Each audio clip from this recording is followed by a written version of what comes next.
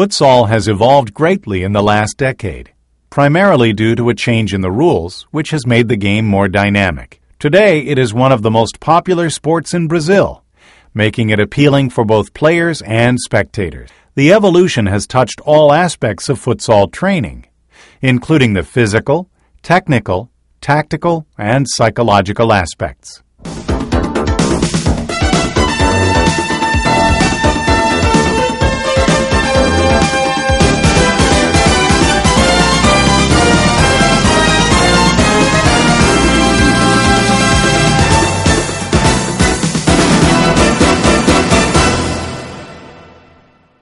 In high-level futsal, success or failure in competition can be attributed to the training elements to which the players are subjected. Futsal training should be organized in a global fashion with the objective of reaching the highest performance possible through a complete training regimen. Futsal training can be defined as the combination of procedures and methods put into practice to raise the player to physical, technical, tactical, and psychological plenitude to make this possible, one should outline the proposed objectives in a coaching plan. It can be said that futsal training consists of components that are all interrelated, such as the technical and tactical elements, which have an ever more important significance in the positive outcome of competition. The structure of futsal training can be divided into six areas. Physical, the physical element is one that includes the methods used both for the development of physical resistance and coordination. Technical. The technical element is a collection of activities and teachings that the player assimilates, developing and consolidating the technical fundamental with the maximum amount of efficiency and the least amount of effort. Tactical. The tactical element is a collection of procedures that will assure that the player and or team uses the most appropriate tactical options for each match situation or for each type of opponent. Psychological. The psychological element is a part of the futsal training that, considering individual, hereditary, and genotypic characteristics, as well as assimilated influences from the environment or phenotype, help the player to tolerate the training sessions and reach his maximum potential through the strengthening of his will. Clinical. The clinical element consists of the therapeutic properties of general medicine and specific properties of sports medicine. Administrative. The administrative element is a collection of administrative measures that aim to provide the necessary support so that the other elements can be fulfilled with the most efficiency and effectiveness possible.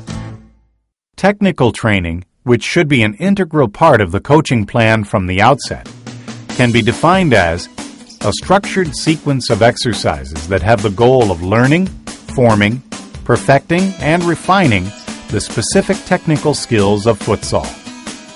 Technique is the performance of all skills of the game and the skills that the player requires in order to become a complete player directed at performance with maximum efficiency and minimum effort. As the individual assimilates personal technique, he perfects himself, making the movements automatic, performing them without thinking, enabling himself, therefore, to focus his attention on the tactical elements of the game. Two aspects are very important and should be emphasized, both when developing and perfecting his skills. 1. Bilateral symmetry is performing the technical fundamentals of futsal with both feet. 2. These skills should always be trained within the context of a game situation. Technical mastery is an important requirement for good tactical understanding and performance. Because a technically sound player is able to dedicate his thoughts and actions to the basics of the game, such as reading the positioning of his teammates and opponents and making the appropriate decisions for the various situations as they occur during the match. Technical fundamentals in futsal are the following passing, ball reception, ball movement, shooting, heading, dribbling, faking, and basic defense fundamentals. These fundamentals are just as relevant for the players who play on attack as for the goalkeeper taking into consideration the game's rule modifications. that have made the goalkeeper an integral participant with an active role during the entire game. It is important for the goalkeeper to also participate in the technical training of the team. The most common used methods are the following in the form of a circuit, in the form of a game, in a real game situation, and individually. We will now go to a detailed description of each fundamental of futsal.